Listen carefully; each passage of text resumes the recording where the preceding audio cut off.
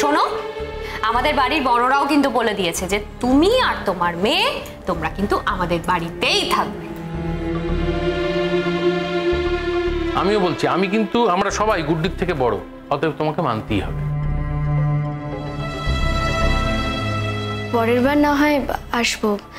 এবারটা এই দিকটাতেই কোথাও থেকে যাই আর বাবুজির তো এটা চেনা জায়গা। বাবুজি তো এই শহরেরই ছেলে ছিল। বলেছে বাবুজি এদিকে কাছে পিঠে কোনো হোটেলে আমরা থেকে যাব। হুম হুম কখনো নয়। এই যে গুড্ডি শোনো আমি একটা কথা তোমাকে পরিষ্কার বলে দিচ্ছি। তুমি সোজা আমাদের বাড়িতে যাবে। কি যাবে তো? হ্যাঁ অবশ্যই। হ্যাঁ? শোনো বাড়িতে টিভিতে সবাই তোমায় দেখেছে? এখন তোমার সাথে সামনাসামনি দেখা করতে চায় কথা বলতে চায়। সুতরাং তুমি সোজা আমাদের বাড়ি যাচ্ছ। ব্যাস।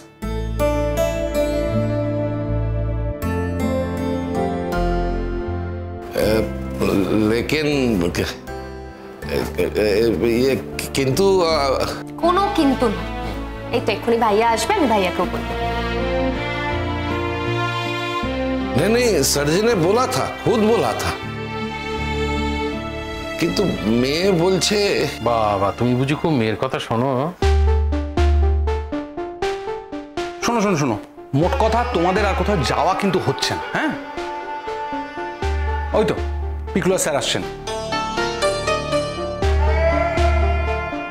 কি ব্যাপার গুড্ডি?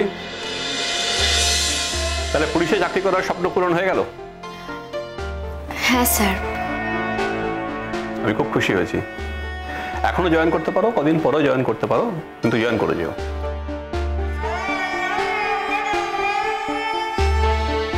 স্যার চাকরির অফারটা যখন আছে তখনও এখন না করলেও কদিন পরেও জয়েন করতে পারে। রেজাল্ট একবার বেরোক। তারপরে তো ওকে কলেজে ভর্তি হতে হবে। আর স্যার চাকরি যদিও এদিকেই হয় তাহলে নিশ্চয়ই পাহাড়ের কলেজ আর পড়বে না।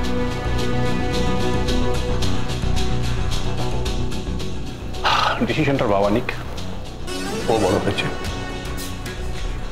তুমি কেন নিচ্ছ ডিসিশনটা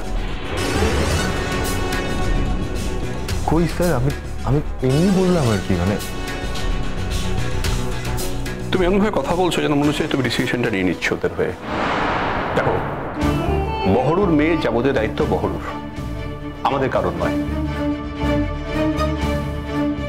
বহরু ঠিক করবে ওর মেয়েকে নিয়ে ও কি করবে তাই না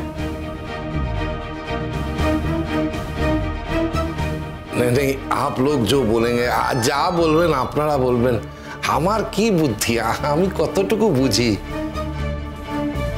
সেসব কথা পরে হবে বড়ুদা হ্যাঁ পিকলু তুই ওনাদের নেমন্ত্রণ করিস আমাদের বাড়ি যেতে? হ্যাঁ বলেছিলাম তো। প্রথমত সেটাই ঠিক ছিল।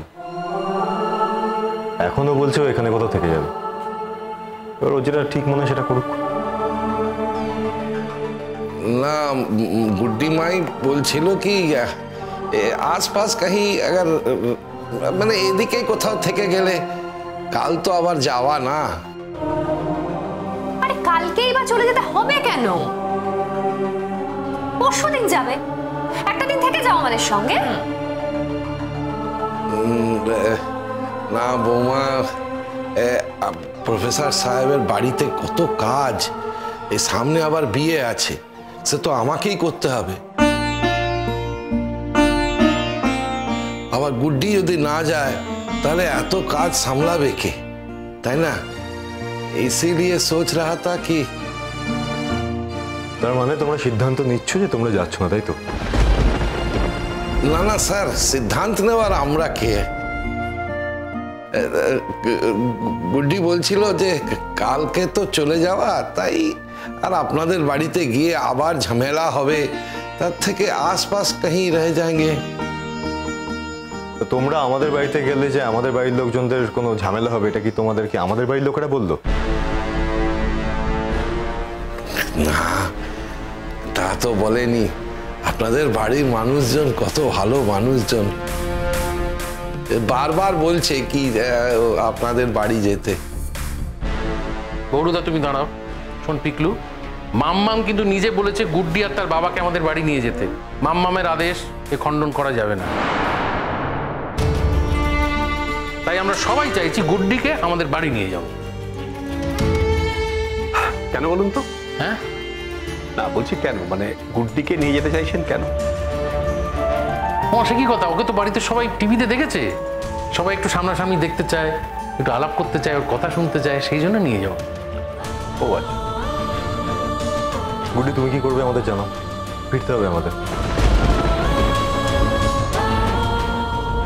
আমরা এদিকেই কোথাও থেকে যাব স্যার। গুড্ডি এটা কিন্তু ঠিক হচ্ছে না। আমরা সবাই তোমায় এত করে বলছি তাও তুমি যেতে রাজি হচ্ছ না। দেখো আমরা সবাই চাইছি যে তুমি একটা রাত আমাদের বাড়িতে গিয়ে থাকো। এরপর যখন মাম্মাম জিজ্ঞেস করবে গুড্ডি কেন এলো না? কি বলব? গুড্ডি আসতে চাইলো না তাই তো? আরে চলোই না। আচ্ছা বেশ কাল সকালে যদি চলে যেতেও হয় আজকে রাতটা অন্তত চলো। শোনো অনেক কথা হয়ে গেছে এবার চলো আমাদের সাথে বাড়ি যাবে। বলছি স্যার আপনি একটু যাবেন না আমাদের সাথে আমাদের বাড়ি? না না সরি অ্যাকচুয়ালি না, আমি বেরিয়ে যাচ্ছি, আমার সময় নেই। গুড্ডি কনগ্রাচুলেশনস ওয়ান্স অ্যাগেন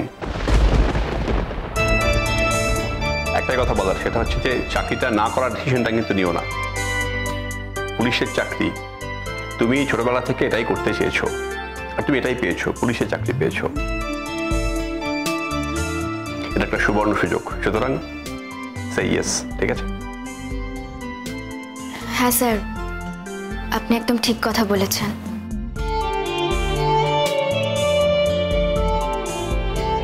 গুড্ডি তাহলে আসি। পাহাড়ে আবার দেখা হবে। আর যদি এর মধ্যে দুম করে চলে আসো আমায় কিন্তু জানিও। ঠিক আছে? Okay sir. আচ্ছা বড়ুদা তোমরা কি করবে আমি তো বুঝতে পারছি না। আমাদের তো বাড়ি ফিরতে হবে সবাইকে। তোমাদের নিয়েই যেতে হবে। আমি মাফি চাইছি পরের বার আসবো ওই শিরিন দিদির বউ ভাতে আসবো এবার এই দিকটাতেই কোথাও থেকে যায় ও যখন আসতেই চাইছে না ওকে তো এতবার ধরে বলার কিছু নেই सर जी गुस्सा कर रहे हैं স্যার এ বাত নেই হ্যাঁ। আপনার বাড়িতে গিয়ে থাকব থোড়া শরম কি বাত হ্যাঁ না? শরম লাগছে এই কারণের জন্য। বড়ু তোমাদের কি সেই চোখে দেখা হয়? সেই চোখে না দেখলাম। আপনারা তো আমাদের মালিক। আমরা হলাম আপনাদের কাজের লোক। আমাদের পরিচয় তো এটাই। আপনারা সেই চোখে দেখেন না আপনারা মহান মানুষ বলে। আসলে তো সেই চোখেই দেখার কথা।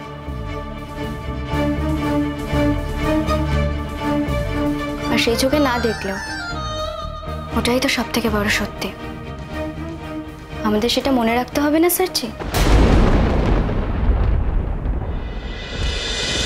গুড সোম থেকে রবি বিকেল সাড়ে পাঁচটায়, স্টার জলসায়।